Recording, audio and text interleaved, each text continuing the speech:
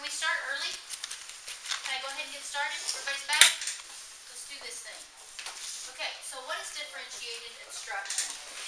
Uh, it's teacher responding to the learner's needs as individuals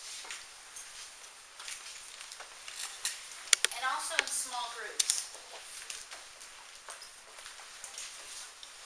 In the past, what's the past, a long time ago, we teach to the masses, we teach to the large group. What we're required to do now is to be sure that we know our students and we know what their needs are as individuals, and not just if they're auditory learner or visual learner, but um, know them in terms of their abilities, but also their interests. Then in small groups, so when you know your individual students, you can then begin to, you can group them homogeneously in like um, learning styles or in like abilities, um, or heterogeneously in different learning styles or different abilities as an example, depending upon what your ultimate goal is. So why differentiate? So you drew some pictures of what differentiating instruction means to you. Why should we differentiate? Our instruction. I would say to give the greatest chance of success for all the different students that we have. Why is that important? I mean, it's obvious, but why is it important? Because we want our job. We want to keep our job. That's, that's motivation.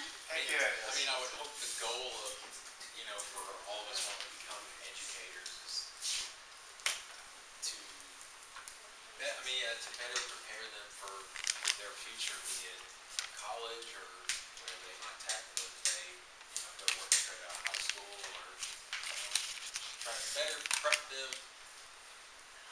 for, yeah, for For life. Dylan's waving opportunity. Tell me about it. What are you talking about there? I mean, as he was saying, like going to college and all that, that's like opportunity. Like by giving it different ways of giving each student a different opportunity to interpret and gather the information. So you're giving each student an opportunity to gain the knowledge. Produce a level playing field for each student. What does that look? What do you mean by that? Um, like, you know, I'm a kinesthetic, I'm, I'm gonna lean, lean that way to teach that, I'm gonna teach that way, but I need to, like, teach to all the students, so that they all have an equal opportunity to learn the material. Okay. Um, I had a question and my screensaver just came up. And I can't remember what it was. Maybe it'll come This, this is, um, while I'm your guest speaker, this is interactive, so certainly feel free to, to jump in. So it's to make sure that, that we reach these students, that they have equal opportunity to, to get somewhere. But what about, should, should, is it, does it have to be easy for you? I mean, should, should you do it so that it's easy for yourself? I there's Is that a trick question? I think there's too much of that going on. Sometimes, sometimes we get lazy. We don't want it to be, it, differentiating is not easy. That doesn't mean you shouldn't find ways to make it streamlined and um, efficient and, and simpler for yourself. But let me just tell you, it's, it's not, e- not necessarily easy. But we're gonna be, some of you have been seeing some different examples, and we're gonna talk about some ways. So if all students in a classroom are instructed at the same level, what opportunities exist to challenge those who are ready to embrace a more rigorous learning environment? Matthew, you mentioned, uh, maybe at our board meeting that, um, or maybe it was when we were in our learning groups, that if you're not here or here, you're basically left out, right? That's an issue that a lot of our schools are facing, that we put a lot of time and attention, because if we have a student that's at a fifty, and we can bring them up to a seventy, that's pretty darn cool, that's some good gains, right? But if, and if we have a, a student that's at a seventy, and we can get them to an 80, 85, that's awesome, but if you got a kid that's at a ninety-five, and getting them up to a 98, 99, that's not a whole lot of gain, right? So we tend to not go there. And a lot of our, you know, more kids are down in this area, but a lot of our schools have, you did the research looking at their value added scores, ones and twos. So their achievement scores can be here, but their value added scores can be here. And Frequently, that's because of this situation. We're not taking these top level learners and boosting them up. So it's not only about helping these low level ones, but it's giving these kids who really need the challenge. And now I remember the question I was gonna ask you. How many of you have been in a class, whether college, high school, whatever grade level, and the instruction went over your head, you were completely lost, and you didn't get it, and the teacher just kept going on, and you were left in the dust. Has that ever happened to anybody? That's a terrible, terrible feeling.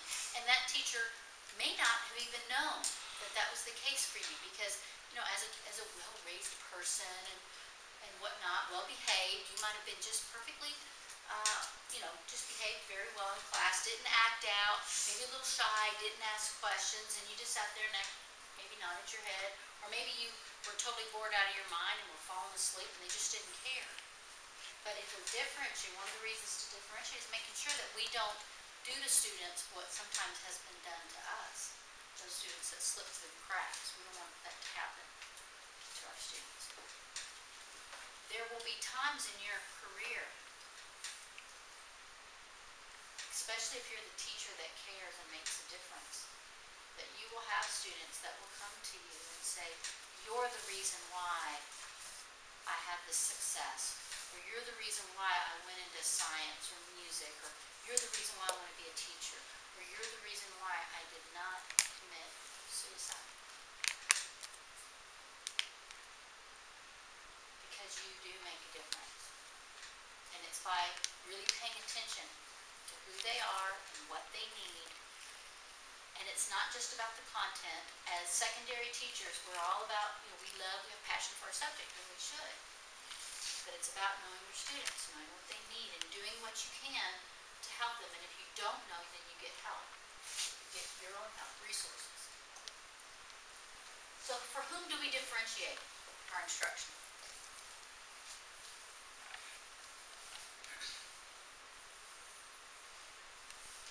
Who needs differentiated instruction? Say again? Everybody. Why? Everybody learns different. Say again? Everybody learns different. Everybody learns differently. What if I'm good, I'm an AB student? Do I need differentiated instruction? More. Maybe more challenging? Holds your attention. holds my attention, I might be an English language learner. There might be any number of things. Sometimes I need differentiated instruction because I'm like Kyle and I work too many hours. I work, work, work, work. I work because I close every night. And then when I gotta be at school at seven thirty in the morning, I'm exhausted because by the time I got home, I was too wired. I couldn't sleep because I had to stay, uh, drink coffee, stay up all night. And then first period gets there and I am tired. And I, as a teacher, might need to differentiate some instruction for Kyle because of the number of hours he's working. Because he's exhausted in the morning, can hardly keep his eyes open. So all your students come with stories and backgrounds. It's not, it's not even just about your learners in terms of their abilities, or which language they speak, or their learning preference. Some of you have seen this, differentiated classroom, what it looks like. Tell me what you've seen. What does a differentiated classroom look like?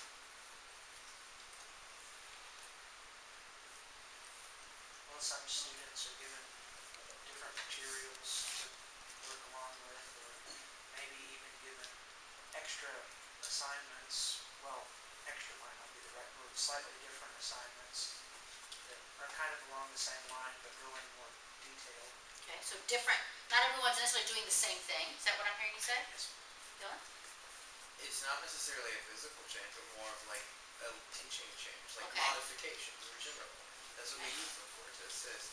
I mean, in the art room, you have not necessarily different standards, but you have different levels, right? So there's the ones who are new. So you have them do just the basics, get the step. But the more advanced students, you want them to go out of their way. Like, so it's more of just encouragement to continue because they'll probably finish early, right? So that's what we would do in the art room. I think I'm answering your question. I could be totally wrong. You weren't answering my question, but you mentioned physical space. Can you differentiate through physical spaces? Group work, individual work, Group work, individual work, larger presentation groups. Okay? What about the way the desks are arranged? Yeah. What you thinking, Caleb? The wheels are spinning. Well, I wasn't really thinking about as much the desk, but like the actual like what's hanging up in the room and like the activities they do. Like I noticed the first class I observed was my mentor teacher. She does a lot of like writing and turning in work. But the math room that I observed, she did a lot of like creating work too, and that was displayed so they could also go back, like they made it, but they could also go back and look at it. So that was displayed in the classroom. So I feel like it's not just the arrangement of desks or like the instruction, but like the resources that they have placed around the room too. Like there's a textbook section where you can go over there and you can sit and read your textbook. Like they have like, a cozy corner for Right, reading, you know, right. like for elementary school. We're not too old for that, are we? But yeah, but they have like that section of the room, and then but they also have like the section of the room where they have the hands-on stuff, and then they have the work that they've displayed, so you can go back and look And that was part of your journal today, right? Was looking for student work displayed. So there's lots of different ways that, um, classrooms can be differentiated. Okay, so we've talked about styles and incorporating styles, so you can, uh, rotate your styles, but you can also be multimodal. So we've talked a little bit about that. Now, this is something that some of you have mentioned, we looked at tier instruction, and this has become popular in the last couple of years. So what you have here at tier one is students learn roughly at grade level or above. This is how they determine RTI. What does RTI stand for? Response. Response to intervention. So there's some sort of intervention that's supposed to happen, and so it's response to intervention. So students learn at roughly grade level or above. So this is where most of your students fall, is in level one, tier one. Tier two, students lag well behind their peers. They demonstrate weak progress on screening measures, these testing measures, and require some form of intervention. So a smaller group of students fall into tier two. Tier three, students lag behind their peers by one or more years, demonstrate very weak progress on screening measures, and require intense intervention. So, um, in, at the high school level, we have RTI time that some of you have indicated is not very effective. Those of you that are at Eagleville, you're gonna be in K through twelve classes. You're gonna see response to intervention in this tiering going on. It's done beautifully. So they have students that, like a group of students that are doing activities that include the majority of the students, so these are the ones that are on grade level. And you're gonna have another teacher working with a group at this level, another at this level. It tends to be on, uh, mathematics and reading that they're focusing on because those are the areas that are tested.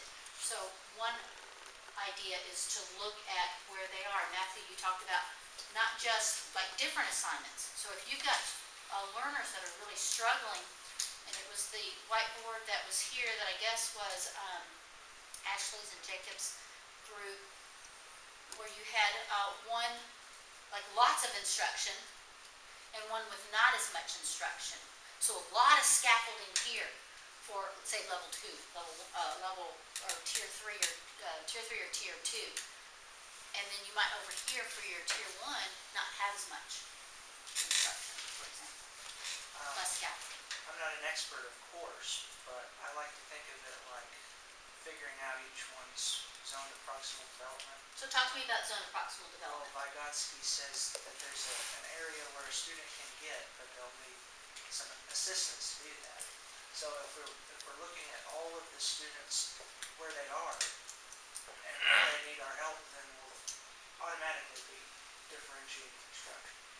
So it's this notion that can't get there on our own.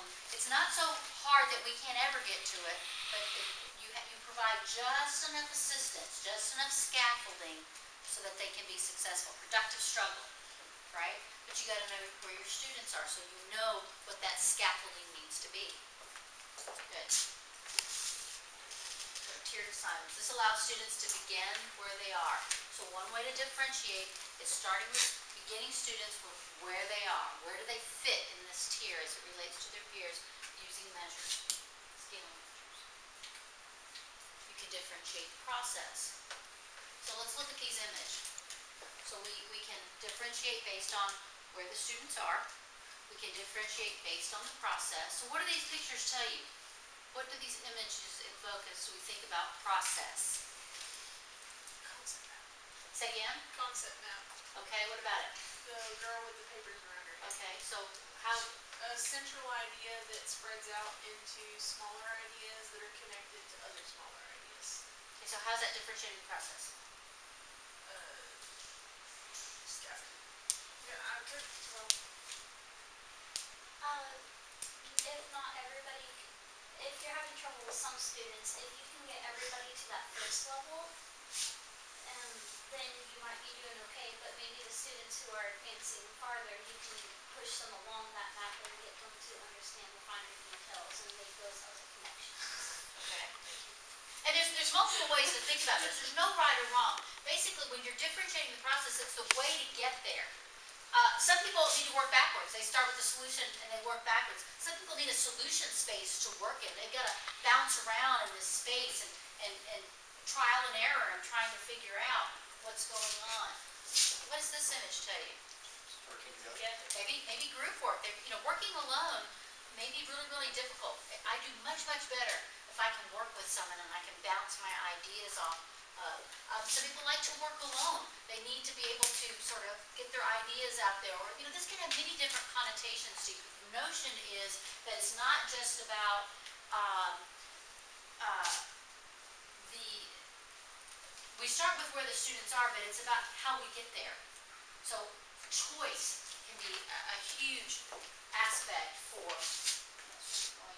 next. So giving students choices, and I used to do this, um, I did a lot of project-based instruction, and students would get to choose their, their project, their method of conveying this information. This isn't one of, one of mine, obviously, but, uh, students might have a choice in this case to act it out, to make a model, to draw a picture. Maybe it's to, to do a writing, to look for patterns, make a table or list. So that's another way to differentiate the process, giving choices, because that, um, Dylan, you've talked about keeping our students motivated and engaged. And if I've got some choices and this is what I like to do, you know, you like to draw your art, so that's probably, that appeals to you to represent your learning that way, perhaps. We can also differentiate the product, how they show their work, what that end product is. So here's an example of some guys, uh, with their, uh, trifold board, artist, models. And when you, when you engage in differentiating the process and the product, what's really cool about that is that differentiation sort of happens naturally because regardless of where their, the student's ability are or is, then they can still create products that can demonstrate their learning, but they get to choose, choose that. Uh, with differentiating the product, at least in art, I could see some students being upset personally. Because Okay. if you have students performing different products, you, first of all, as a teacher, you would need multiple rubrics, which isn't necessarily a bad thing. But certain students wouldn't necessarily choose the product that they think they do best at, they do the one that they think is easiest. Could be. So that would be not necessarily to your benefit as the teacher to provide, to, I don't know what I'm looking for, but to just give that information. And also, I feel like some students will feel cheated, right? Because they feel that what they chose is harder, but then their neighbor chose the So as a teacher, what could you do to level that playing field? Excellent question. I don't have the answer. Sandy does. Go for it. That's why we're here. Um, so if you had a choice board like before, you would probably not just use that for one project, but maybe for a couple of projects. And so you could have them pick from several ones, but once they do one type, they can't do it again. So they can't draw a picture every time, but maybe for one project they could. But the next time they would have to do something that challenges them Well. And that also prepares them for different kinds of presentations that we'll have to do. Because sometimes you have, in college, you have papers you have to present or to defend, or you have to make a PowerPoint, or you have to have a group discussion or a panel like that, and that just prepares them for the different kinds of things they're gonna encounter in job interview or, uh, where, working with other people, that kind of stuff. Uh, my nine-year-old in the fourth grade, she has, she brings home a, paper every Monday, and it's called her word work, it's your spelling words, and it's a grid, and there's like nine boxes, and she has to work through that grid, uh, throughout the week. And she picks a box, and then she has to pick another, pick another box that touches it, she has to go around and, and do it that way, but by the end of the week, she's completed four or five of the boxes Yeah. out of all of them. This is a bigger box, but something along, Yeah. so this sort of choice board here, you can't, you can't read this, so, um, write, characterize, create, different, different Right. ways of, of demonstrating. So you get choice, but once you use something, um, and so sometimes it's choice, but sometimes, uh, you, perhaps you group students in a way so that your advanced learners can have something that's more complex. Maybe it's not something that's more, uh, more work, but it's more complex. So there's a, maybe a specific product that you want them to create. They still got choice within that product, but a certain thing. And let's say that you've got some, uh, students that are at this end down here, and it doesn't need to be as complex. So sometimes it's a matter of, um, indicating what those products will be as well. I am not anywhere against differentiation or anything like that, but my curiosity comes since we know that uh, testing is the biggest thing. How do we incorporate such learning but still have to force them to test in only? So, like, we could test them in different ways, you know what I mean? But we only have one way of testing. We make them write it on a sheet of paper or click it on a computer. So, great, but by differentiation, we're not preparing them for the test as well, which I'm not saying that. Right. Only a You're bringing writing test- A. I'm not saying that writing tests are the only way to do it. Not at all. I'm just saying, how do we how do we incorporate differentiation in instruction, but being forced to give them a test that's only written, and it be productive? Isn't the point of differentiating instruction, making sure that they gather the information, they retain it, so when it comes to the test time, that's a different topic, isn't it? Because once they know the knowledge, would it be easier for them to regurgitate it? Right, but wouldn't it be easier for you to regurgitate it in the way that you learned it rather than in the way that you're being told to do it? I don't know. Like I would, I would be able to perform better if I could physically do something or say something. I'm not going to be able to write it all that great. So it's all about retrieval. And, and when, when it comes to learning, you have, um, working memory, and you have long-term memory, and things that are working memory, like, um, like if somebody were to give you their phone number or a series of things, I can, like, hang on to it for a while. And in learning, if you're gonna really learn something, it goes from working memory into long-term memory, right? So that you can, so that you can retrieve it, you can access it. So I think what Benton is saying is that through differentiating instruction, you help it get from working memory into long-term memory. And so then you have to have this retrieval, and what you're saying is, well, if, if you have learned it this way, but you're tested another way, is that gonna translate? And so certainly it depends on the student, but it's also your retrieval practice, how do you get back to it? So that's a really big thing right now in, um, learning theories, is, um, is this, um, interleaved, uh, experiences, which means that we are connecting what we're learning to other learnings and coming back and bringing all these different, the pathways, the neural pathways, and having all these different experiences to help get that thing into working memory and practice the retrieval so you can get it back. And so yes, it might be a multiple choice test, but it also, there's a lot of, um, uh, performance-based, the, the Ten Ready is now, uh, constructed response, so you have to be able to write. So as a teacher, when I am doing all of these, um, this differentiated instruction, I'm gonna be including a lot of writing, showing your work, having some discussions, and helping students to retrieve that information and coming back and practicing. So we've left this topic in genetics, now we're moving into this other topic, and so I'm gonna keep trying to tie it back to these things. Again, retrieval practice, and different ways of looking at it in your mind and understanding it so you can get back to it. Not just for tests, but that's part of it. Do you have a comment? Uh, it's nothing on board. You can, Oh, I didn't, I, if you were okay. trying to wrap things up, I didn't want to. Yeah, I got just a few more minutes. Um, all I was gonna say is that it seems to me like there's not enough time to give the students what they should have. And You know, it's mile wide, inch deep, right? There's time is always, always, always an issue. And in Rutherford County, we have to identify power standards, these, um, essential learnings. You will not, in all likelihood, be able to cover all the standards. As a professional learning community, you're gonna have to be looking at what is most essential, what is your guaranteed and viable curriculum, what is, what are the things that all students must learn and be able to do before they go to the fourth grade or the tenth grade or whatever it is. Time is an issue. Okay, so we're talking about, starting with students where they are, we're talking about differentiating the, uh, process, we're talking about differentiating the product, so giving them choices, or, uh, identifying what those products need to be based on where they are. Um, we can also differentiate by their interests, by their learning profile, and by their readiness. So those are things that you can identify in your students. So do I need to, do I need to elaborate on interest, learning pro- profile, or readiness? Okay, so I'm gonna keep scrolling. We can, we can use flexible grouping, what all students will do, what most students will do, and what some students will do. So we can be looking at grouping. We can be looking at homogeneous grouping. Uh, that might be same-sex grouping, it might be ability grouping, it might be the same interest, it might be the same learning profile. We can do heterogeneous grouping, uh, mixing those up. It depends on what your ultimate goal is. Um, are, do we have any English folks here?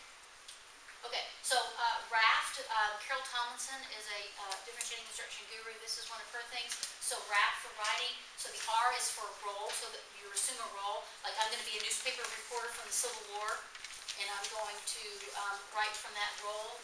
My audience is gonna be, um, the readers in the Confederacy, the topic is gonna be the Battle of Franklin, and then whatever, you know, it's gonna be a newspaper article, for example. So you can do this, uh, a way to differentiate, and you can let students choose, like if you have a certain topic, or this can go for history, or any, any number of things, but, um, you can let them choose, you know, have some choices in this. Okay. All right, so I want to show you a video, and I want to I'm not gonna turn all these off, I'm not going to you guys go to sleep. Okay.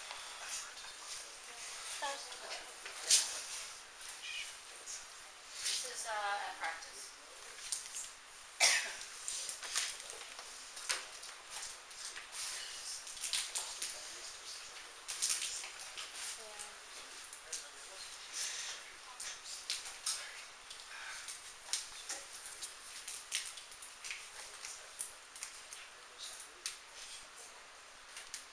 I'll talk to him. Stick is proud to support teachers everywhere. Following the video, discover how ScienceFlix can strengthen both your students and your curriculum.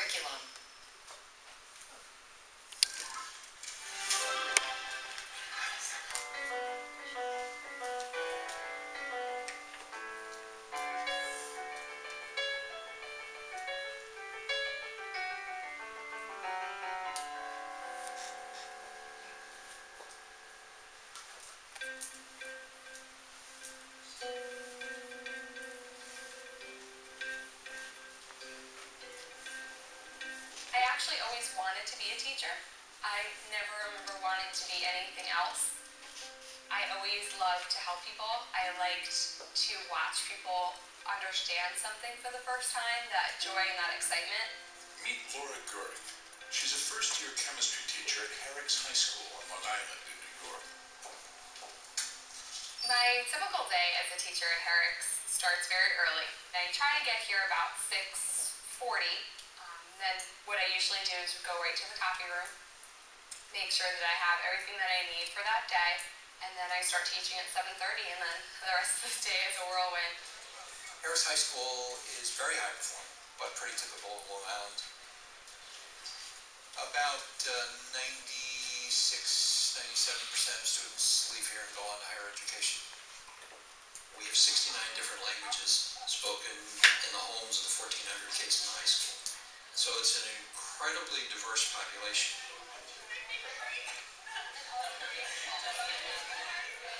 The diversity extends to the academic readiness of the students in Laura's classroom. Like many new teachers, Laura struggles to keep her lessons engaging to students with a wide range of interests, learning styles, and curriculum knowledge. I might have students that are struggling very much with the material, and then in the same class, I have students that are hoping to go on to take AP biology and AP chemistry next year. It's hard to do in one class. How do you challenge your top students while not leaving anybody behind? Point six. Teachers must be able to adapt their lessons so they can be understood by students with different aptitudes and abilities. A teacher who differentiates responds to the diverse learning needs of her students. This increases the likelihood that all students will learn key concepts. So today we're continuing our gas laws discussion. Can you pass me back to, um, Laura has begun to differentiate, designing lessons that address the multiple intelligences in her classroom. Okay, pressure is constant. Your volume went down. What had to have happened to your temperature? It went down. Some students are really strong math students, so they're going to really latch on to that, those equations and the math behind it. And other students, they need to be able to see things, and they need to be able to see examples in order for them to really learn and understand the concept. Those are all different ways that hopefully we will help all different types of learners, whether they be auditory, sensory, or they like to write things down and just do the math behind it. Still, Laura struggles to keep all her students engaged and working to their maximum potential. It's easier for me to hit on a different type of learner in my lesson, but it's it's harder for me to work with students at very different ability levels in one particular class. I can count on one hand the number of times I give an exact same homework assignment to everybody in the room in a whole school year. Rick Wormeli is a science teacher from Virginia and an expert on differentiating instruction. Some kids need batting, some catching, some need to lift some weights, some running, whatever it is, but not everybody's doing batting practice. You change the practice according to what your children need at the time. Differentiated instruction is kind of the pragmatist credo, whatever works. You've got this one lesson you're gonna do, you're sensitive to, is it working or not? And if the kids aren't learning to the level they do, what do I need to do to adjust it? It's having such a diverse repertoire of responses that I can respond to the needs of my students. So a lot of people call differentiated instruction responsive teaching. Laura consults with Rick via Skype to get some practical tips on differentiating instruction. Hey Laura, how are you? Good, how are you? Great, ready to talk some differentiated instruction. What do you have for me today? So I have a very diverse group of students. Um, some at the very, very high end of, of the class who's, who are really accelerated and like to self-learn the material before it even is uh, introduced in class. So I'm having a little trouble with really hitting everybody and making sure that everybody has that appropriate challenge. How do you know these students are accelerated? They're preparing for the SAT 2 already. Yeah. So they're taking a review class. So they've already been taught in a review way what the topic is. So they've gone through the book, they've gone through practice questions, they've had homeworks on it, and I haven't taught a thing yet. Before a teacher can differentiate successfully, she must accurately assess the level of her students' competence. Assessment has to be accurate in a differentiated class. If I make a decision based on false assessment data, the whole enterprise of teaching and learning very successfully, let alone grading, to the child's future, will also be based on this faulty premise. Assessment should be continuous to track student progress. Teachers can pass out an informal questionnaire before teaching a new concept to gauge student knowledge. Use ongoing assessments like exit slips or classroom discussion to see who is struggling. Make sure the assessment accurately tests the concept being taught. Every problem I write in my tests and my quizzes, I'm going to say, and which standard or benchmark or learning target is that? And the learning targets, where's the evidence of that? And is that ample evidence? We have taught all the time that a grade is far more accurate when it's clear and consistent over time, not one snapshot moment in time. So, how do you deal with a variety of readiness levels in the same 43 minutes or 86 minutes? Correct. All right. Well, how familiar are you with tiering and scaffolding? Have you studied any of that in your, your undergraduate or, grad, or in-service training? Not formally yet, no.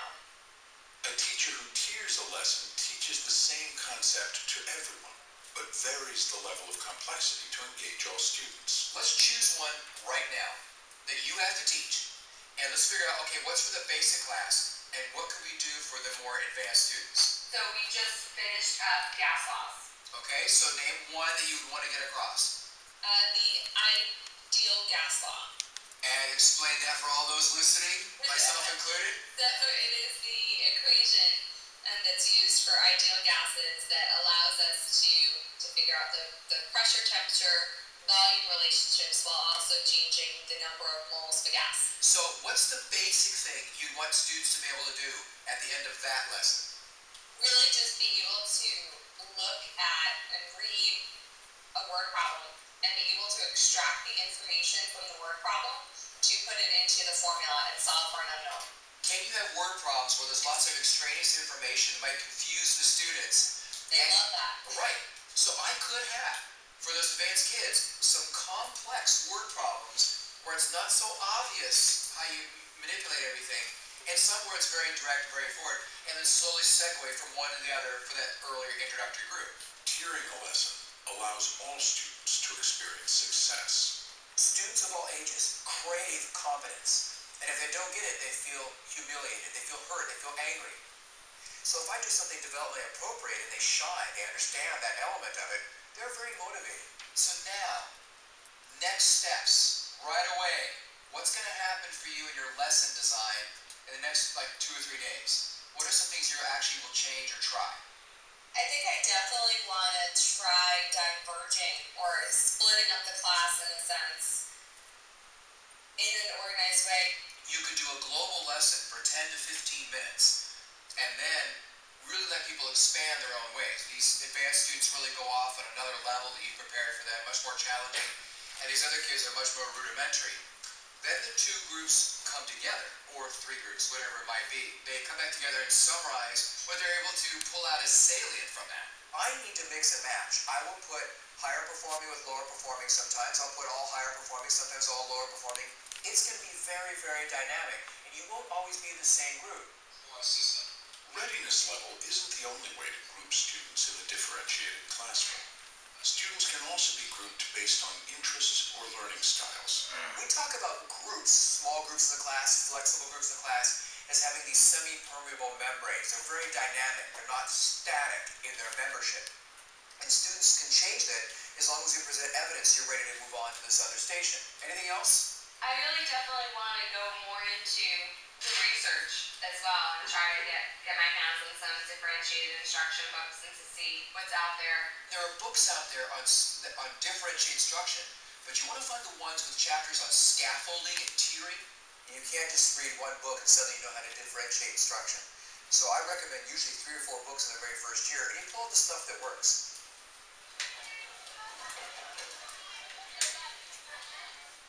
What happened to your volume? This is amazing. Back at Herricks, Laura has added tiering to her teaching toolkit. Using a different difficulty level word problem has been helpful because the students then are able to work at their own level and be challenged at a level that's suitable for themselves. Gotcha. That's your homework, so start now. Okay, so you're going to give me a written description of what happened, why did it happen, and which gas law is it? She's using slips to assess student mastery of new concepts.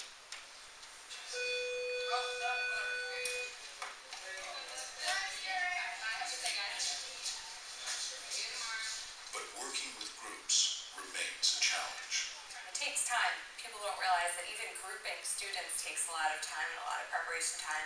It's a challenge to try to incorporate everything into every lesson to be what? It just seems overwhelming. It seems like sometimes, okay, I'm just going to do individualized plans for everybody. And nobody's asking anybody to do that. You don't have to differentiate 24 7. It's often just fine for everybody to do the exact same thing. Whole class instruction is a part of a differentiated class, but you're going to have to realize there'll be some flexible grouping, some independent stuff from time to time, and you wax and you wane, you to go through all that. That's all right. I mean, seriously, one differentiated idea per month for three years. That's a teacher on pace for learning this. I know that one day I will be an expert in differentiated instruction and it will not be today, it will not be tomorrow, it just takes a lot of time.